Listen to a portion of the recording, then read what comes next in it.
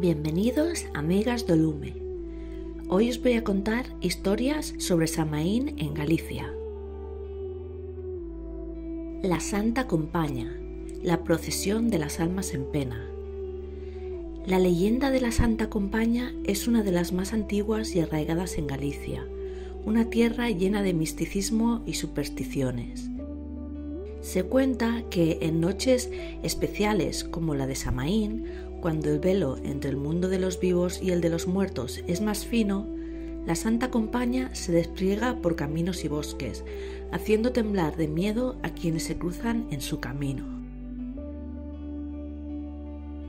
Esta procesión espectral está compuesta por almas en pena, almas de personas fallecidas que, por diversas razones, no han logrado encontrar la paz. Estos espíritus vagan en un grupo que marcha en silencio, siempre encabezado por una figura fantasmagórica que lleva una vela encendida. Algunos relatos describen a esta figura como una persona que, al no haber tomado las precauciones necesarias al cruzarse con la Santa Compaña, ha quedado maldita y ahora está condenada a liderar esta procesión de espíritus. La apariencia de estos espectros es etérea, con cuerpos que parecen estar envueltos en un tenue resplandor blanco. A medida que avanzan, se cuenta que sus pasos apenas levantan el polvo del suelo y que su marcha es tan silenciosa que el único sonido perceptible es el viento, agitando por su paso. ¿Qué hacer si te cruzas con la Santa Compaña? Cruzarse con la Santa Compaña es uno de los peores augurios que alguien puede experimentar en Galicia, especialmente durante la noche de Samaín. Según la tradición, aquellos desafortunados que ven esta procesión pueden quedar malditos o, peor aún, ser obligados a unirse a ella, cargando la vela y liderando a las almas en pena hasta que otra persona caiga en la misma maldición.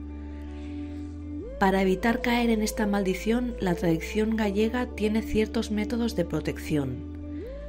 Algunos de los métodos recomendados incluyen cruzar los dedos. Esta sencilla acción se considera una manera de evitar el contacto con la Santa Compaña. En algunos pueblos, cruzar los dedos pulgar e índice formando una cruz es una forma de ahuyentar a los espíritus. Dibujar un círculo de protección. Las personas que sospechan que pueden cruzarse con la Santa Compaña pueden trazar un círculo en el suelo y quedarse dentro de él, protegiéndose de las almas en pena. Ver la Santa Compaña no solo trae mala suerte, es una advertencia de muerte inminente para quien la observa o para alguien cercano a él. Las historias de personas que desaparecen misteriosamente después de encontrarse con esta procesión son frecuentes en el folclore gallego. El Urco el perro fantasma de Galicia. El urco es una de las figuras más inquietantes del folclore gallego, una criatura que emerge de la oscuridad y de la niebla para sembrar el miedo entre aquellos que se atreven a adentrarse en los caminos solitarios de Galicia en noches brumosas. Este ser espectral es descrito como un perro enorme, de pelaje negro y ojos que brillan como brasas, un fuego sobrenatural que parece atravesar la penumbra y advertir a los vivos de su presencia. En algunas versiones de la leyenda, el urco también lleva cadenas, cuyo sonido metálico resuena en el silencio de la noche, avisando de su llegada mucho antes de ser visto. La relación del urco con la muerte es un tema constante en las historias gallegas. Para los habitantes de los pequeños pueblos y aldeas, encontrarse con el urco no es solo un presagio de mala suerte, sino una advertencia de tragedias inminentes. Se cree que este perro espectral no solo anuncia desgracias, sino que tiene el poder de guiar las almas de los difuntos al más allá, actuando como un guardián que se mueve entre los dos mundos. Su presencia en los caminos es, por tanto, temida y respetada, ya que aquellos que lo ven pueden estar condenados a enfrentar alguna pérdida o incluso a ver su propia muerte acercarse. Es en Samaín cuando su figura adquiere un poder especial y su aparición es más común y temida. Los ancianos cuentan que en la víspera de Samaín es mejor quedarse en casa y evitar los caminos solitarios y cerrar las puertas y ventanas para impedir la entrada de espíritus y criaturas del otro lado, especialmente el urco. Los relatos dicen que el urco aparece en los caminos desiertos y en los cruces y que si alguien tiene la mala fortuna de encontrárselo en su camino, debe evitar mirarlo directamente a los ojos. Cruzar su mirada con la del urco podría sellar el destino de la persona, atrapándola en una maldición de desgracias y muerte. También se dice que aquellos que escuchan el tintineo de sus cadenas deben rezar o recitar alguna protección,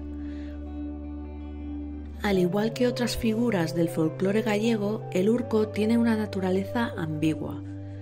Aunque se lo teme por su relación con la muerte, algunos relatos sugieren que también cumple un rol de protector de los difuntos.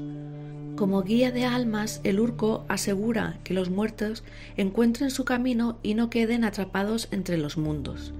Sin embargo, para los vivos, el urco representa una amenaza real y un recordatorio de la proximidad de la muerte. Este contraste entre protección y castigo hace del urco una figura fascinante dentro de las leyendas gallegas. En algunos pueblos se cree que solo aquellos que han cometido grandes pecados en vida pueden ver al urco, pues éste aparece para reclamar sus almas. En la cultura gallega el urco es mucho más que una simple historia de terror. Es un símbolo de la conexión entre la vida y la muerte, entre el mundo visible y el invisible, y un recordatorio de que, incluso en las noches más oscuras, el misterio de lo desconocido está siempre presente, acechando en las sombras. El puca y sus travesuras nocturnas. Conocido por su naturaleza cambiante y su inclinación por hacer travesuras, el puca aparece en la noche de Samaín, este ser travieso suele aprovechar esta ocasión para interactuar con los humanos, pero no siempre de la manera más amigable. El puca tiene la habilidad de transformarse en diferentes animales y puede aparecer como un caballo negro de ojos brillantes, un perro, un gato, un cuervo e incluso un enorme conejo. Sin embargo, su forma más famosa es la de un imponente caballo negro, con una melena desordenada y ojos que resplandecen en la oscuridad. A diferencia de otros seres que se presentan ante los humanos en una forma humana y de apariencia amigable, el puca siempre tiene un toque de inquietud y misterio, y su presencia inspira tanto curiosidad como temor. Quienes tienen la mala fortuna de cruzarse con el puca en la noche de Samaín corren el riesgo de quedar atrapados en sus travesuras mágicas. Se dice que, como caballo, invita a los humanos a montarlo, solo para llevarlos en un viaje salvaje y aterrador por montañas y valles oscuros antes de dejarlos en un lugar desconocido al amanecer. Se cree que al aparecer en Samaín, el Puka también es capaz de prever el futuro o revelar secretos ocultos a aquellos que demuestran valentía ante su figura. Sin embargo, estos secretos pueden ser tan desconcertantes que aquellos que los escuchan terminan cargando con una sombra de duda o desconfianza. En los pueblos la gente ha desarrollado métodos para evitar la influencia del puka. Algunos colocan espinas o clavos de hierro en puertas y ventanas, ya que se cree que estas barreras pueden detener a los espíritus traviesos. Otros preparan pequeñas ofrendas, como trozos de pan o dulces, que dejan fuera de sus casas como una especie de pago para que el puca se sienta satisfecho y no interfiera en sus vidas. Las megas y el aquelarre de Samaín. Las megas, conocidas en Galicia como sabias y guardianas de conocimientos ancestrales, tienen una conexión profunda con Samaín, la noche más mágica del año. La leyenda cuenta que durante la noche de Samaín las megas se reúnen en lugares apartados y cargados de energía espiritual, como los bosques profundos y los claros bajo la luz de la luna o incluso las solitarias playas gallegas. Estos puntos suelen estar alejados de los pueblos en sitios rodeados de naturaleza salvaje, donde la magia puede fluir sin restricciones. Las meigas forman un círculo, encendiendo fogatas y disponiendo altares improvisados con ofrendas para los espíritus, tales como hierbas, flores, vino y pequeños alimentos. El ritual comienza cuando las meigas entonan antiguos cánticos y recitan invocaciones transmitidas de generación en generación. Estas palabras son pronunciadas en voz baja y solemne, ya que cada frase tiene el propósito de invocar a fuerzas específicas y de pedir favores, como protección para sus seres queridos, salud, abundancia o poder espiritual. Además de los cánticos, se dice que queman hierbas sagradas, como el romero, la artemisa o el laurel, cuyo humo es considerado purificador y tiene la capacidad de abrir un puente hacia el otro lado. En muchos relatos se cree que el aquelarre de Samaín es también un momento de renovación espiritual para las meigas, una oportunidad para deshacerse de las energías negativas acumuladas durante el año. A través de danzas alrededor de la fogata y de ceremonias de limpieza, buscan purificarse y prepararse para enfrentar el invierno con fuerza y sabiduría. Es común que al final de la ceremonia cada meiga lance al fuego pequeños objetos simbólicos que representan sus miedos, ansiedades o malas experiencias, dejándolos consumir por las llamas como un acto de liberación. El jinete sin cabeza. El jinete sin cabeza es una figura que aparece en leyendas de diversas culturas, pero en Galicia tiene un carácter y simbolismo propios, adaptado a las creencias locales. La leyenda gallega describe a este caballero sin cabeza cabalgando al anochecer en la noche de Samaín. En esta versión, el jinete suele portar una armadura antigua y desgastada, y su caballo, negro como la noche, exhala un aliento espectral que parece brillar en la oscuridad.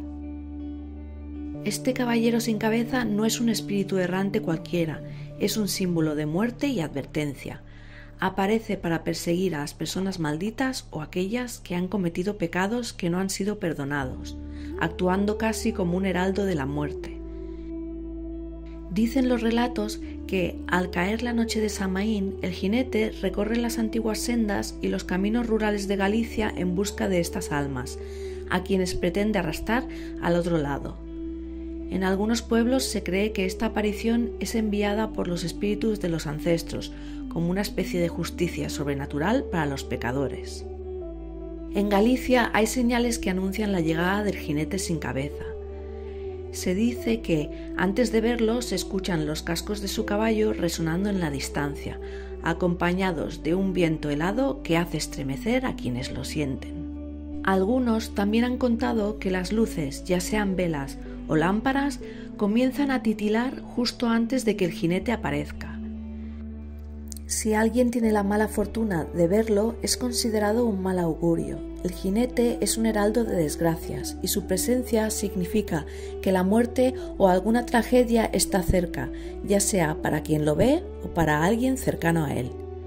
A pesar de la gravedad de la aparición, los habitantes de las aldeas gallegas han desarrollado formas de protegerse. Una de las más conocidas consiste en hacer una cruz con los dedos o rezar en silencio especialmente oraciones dedicadas a las almas del purgatorio, para pedir protección. Para los gallegos, el jinete sin cabeza representa la justicia implacable de lo sobrenatural, una figura que actúa como recordatorio de las consecuencias de las malas acciones y los secretos oscuros. Su leyenda sigue viva como advertencia para aquellos que pretenden escapar de sus responsabilidades o que llevan a cuestas la culpa de actos no redimidos. Espero que os haya gustado mucho este vídeo.